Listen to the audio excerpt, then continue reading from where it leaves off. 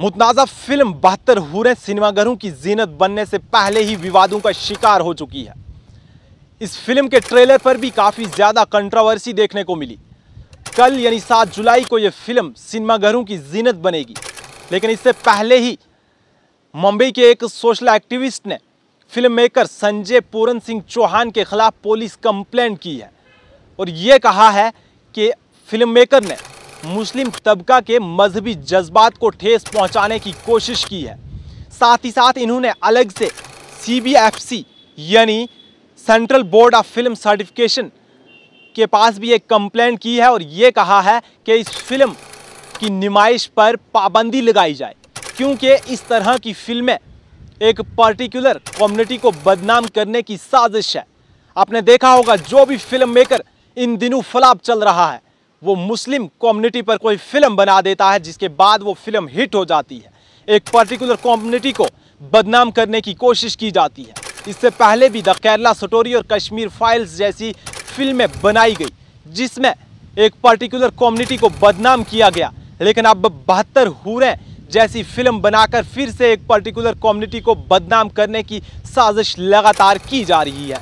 लेकिन इससे पहले ही इस फ़िल्म की नुमाइश पर पाबंदी के लिए कंप्लेंट्स जारी की गई हैं।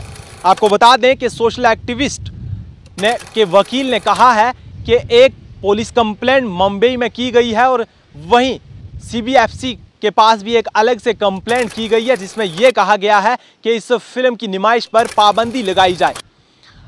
इस फ़िल्म के को प्रोड्यूसर ने मीडिया से बात करते हुए कहा था कि सेंसर बोर्ड की जानब से ट्रेलर पर ही पाबंदी लगाई जा रही थी और ये कहा जा रहा था कि इस फ़िल्म से कुछ अल्फाज और कुछ सीन्स हटा दिए जाएँ। लेकिन सेंसर बोर्ड को इन सीन्स और इन अल्फाज पर कोई एतराज़ नहीं होना चाहिए था, क्योंकि हमने इस फ़िल्म में मजहबी जज्बात को ठेस नहीं पहुंचाई है। लेकिन इस फ़िल्म के ट्रेलर में जो दिखाया गया है, उसमें साफ़ तौर पर यह दिखाया गया है कि फ़िदाइन किस तरह से नौमर मुसलमानों मुसलमानों का इस्तेमाल कर रहे हैं। और किस तरह से उन्हें बहत्तर हुरों का लालच देकर अपने ग्रुप्स में शामिल कर रहे हैं। और इससे पहले भी आपने देखा होगा कि इसी तरह से द केरला स्टोरी और द कश्मीर फाइल्स जैसी मूवी बनाई गई, जिसके बाद ये काफ़ी ज़्यादा कंट्रोवर्सीज का शिकार हुई।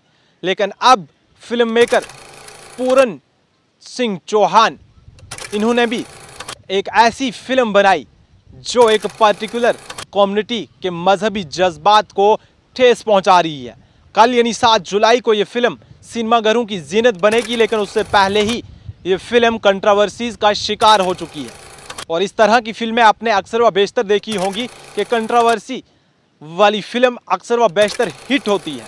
लेकिन क्या सेंसर बोर्ड की जानब से या सी की जानब से इस फ़िल्म की नुमाइश पर पाबंदी लगाई जाएगी? आखिर कार सेंसर बोर्ड की जानब से इस तरह की फ़िल्म को परमिशन ही क्यों दी जाती है? क्योंकि इससे पहले इस तरह की फ़िल्मों को कभी भी सेंसर बोर्ड परमिशन नहीं देता था, इस तरह की फ़िल्मों की नुमाइश की पाबंद, पाबंदी जो है वो लगाई जाती थी। लेकिन अब सेंसर बोर्ड की जानब से भी इस तरह की फ़िल्मों पर कोई रोकथाम नहीं लगाई जाती।